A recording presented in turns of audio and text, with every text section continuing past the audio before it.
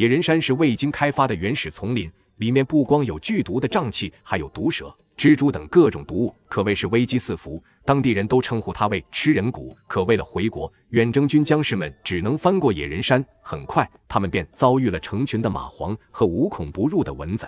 因为缺医少药，很多重伤员在刚刚进入丛林不久就失去了生命。战友们只能强忍着内心的悲痛，将他们的遗体面朝祖国安葬。随着时间的不断流逝，远征军的将士们持续不断的遭受着伤亡，有的人睡着了就再也没有醒来。翻开他的尸体，你能从背面看到大量的蚂蟥，很多人因为被蚊虫叮咬而感染疾病。杜聿明也不幸中招，只能靠士兵用担架抬着走。有相同经历的还有戴安澜，他在与日军作战的过程中腹部中弹，因为没有得到及时的治疗，再加上连续多日的在丛林里奔波，戴安澜的身体越来越糟糕。在离祖国还有一百多公里的时候，他耗尽了最后一丝力气。在弥留之际，戴安澜叫来了副师长，嘱咐他一定要带着弟兄们回国。说完，他提出了最后一个愿望，那就是让人搀扶他站起来，再看祖国一眼。戴安澜注视良久后，闭上了双眼。他的最后一句话是：“我现在是有心杀贼，无力回天。”